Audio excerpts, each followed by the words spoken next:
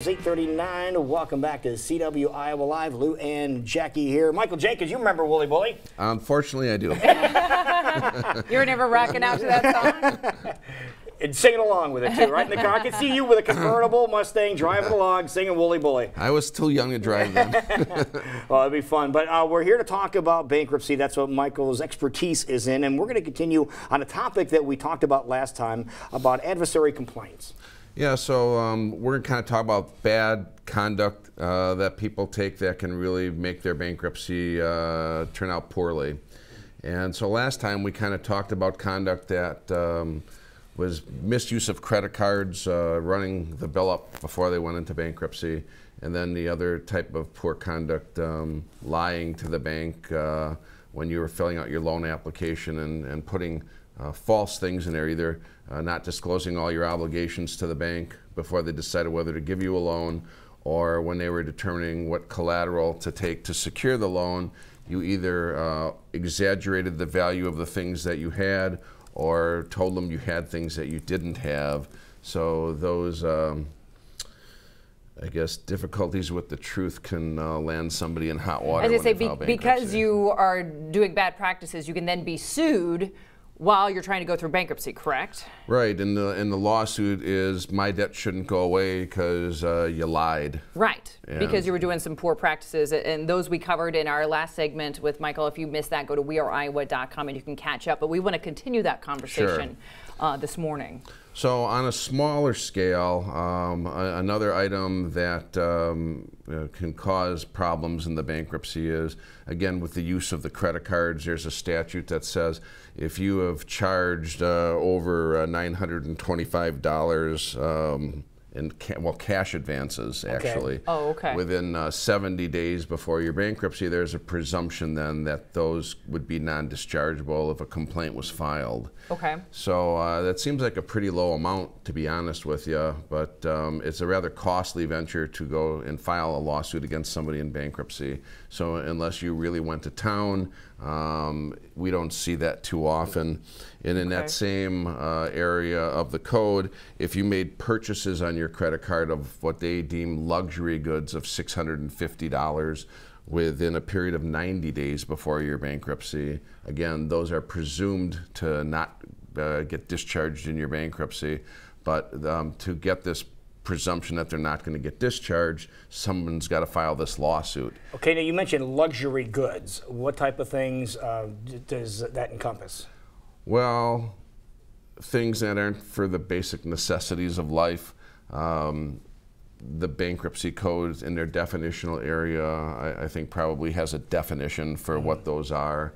But those are going to be probably, you know, just frivolous things, um, things that aren't needed for the household or for your health. Um, or everyday type things. I mean, your groceries wouldn't be deemed to be luxury goods, Okay. but if you took uh, got a couple plane tickets to go to Florida for uh, spring break, I think that would fall That into would luxury. fall into that category? Okay. So if you're seen making those purchases right before you decide to file, you could be dinged for that. Yeah, and, and the, the practical thing though is, you know, these are very low amounts, and uh, it's it's rather costly for someone to file these actions. I mean, the filing fee alone uh, is about two hundred and seventy dollars, and then the lawyer fees. I mean, that can go well in, into the thousands of dollars. So they're not filing these things for these small amounts. I mean, it, it would usually have to be someone that's really just gone nuts and started charging four or five thousand dollars uh, for these kind of things. Okay. We just don't see this too often, and these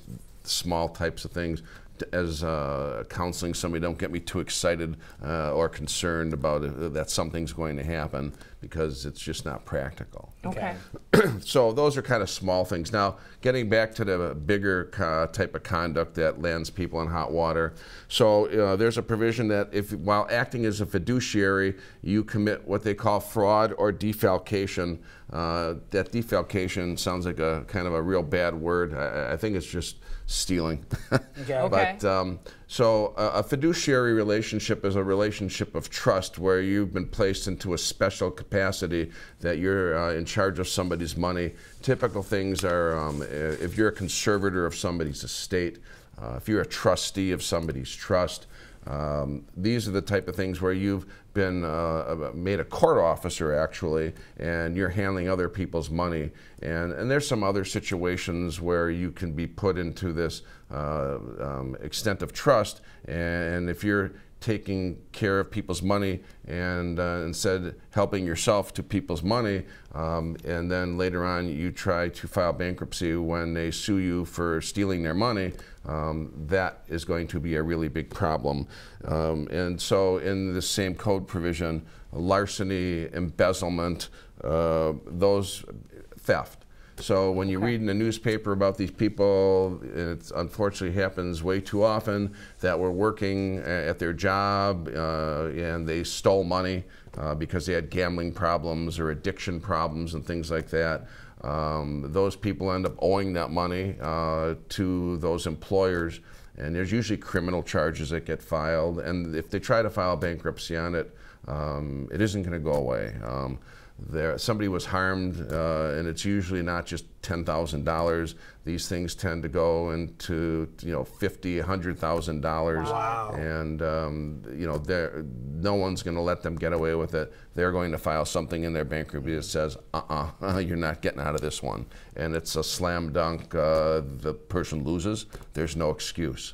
Bankruptcy doesn't wipe everything clean. Uh, so you no, doesn't no sense in wasting any, wasting any time on that one because that one's not going. There away. really isn't, and okay. so you know unless you had other debts you needed to get rid of, but yeah, bankruptcy just doesn't reward bad conduct. Got it. Okay. Um, uh, Good to know. And some of these things, you know, I guess they seem sort of obvious when you think about it. I mean, it, it makes sense that this kind of conduct isn't going to be rewarded because mm-hmm. uh, a lot of these are intentional acts. But obviously, I mean, these are in place because it's been tried. Yeah, I mean, and, you know, and these aren't any accidents when this happens. I mean, when you mismanage your money, most people didn't plan to mismanage their money or to have bad things happen to them in life. Mm-hmm. Uh, but these are incidences where people are knowingly doing bad stuff. Okay. They know they're lying. They know, you know, they're just doing these bad things and stealing. So they will be held accountable. They're held accountable. Okay. Now, another one of these exceptions to discharge is for willful and malicious injury to property or person. So these typically happen uh, when somebody's been a victim of an assault. Uh, we see people have gotten into a fight barroom brawl, something like that. And in those incidences where somebody really got hurt kind of badly, um, then they will be able to uh, pursue that person in the bankruptcy so that that debt doesn't go away. Sometimes they've already gotten a civil judgment for the assault. Um, another common place we see this happen is again in the business world. Um, if a business has taken the collateral that they've pledged to the bank or the lending institution that was supposed to be around so if the debt couldn't be paid, the bank could seize that property and sell it and apply it to the loan. Like a car, if you don't pay it, they can repossess it. Well, in business, we're talking about equipment, inventory uh, of a store, uh, accounts receivables for a business that once they've gone out of business, those monies can be collected. These are all things that are generally collateral, so if things go badly with the business, then the lending institution can get some of their money back. And this also is in farming where you've got crops and farm equipment.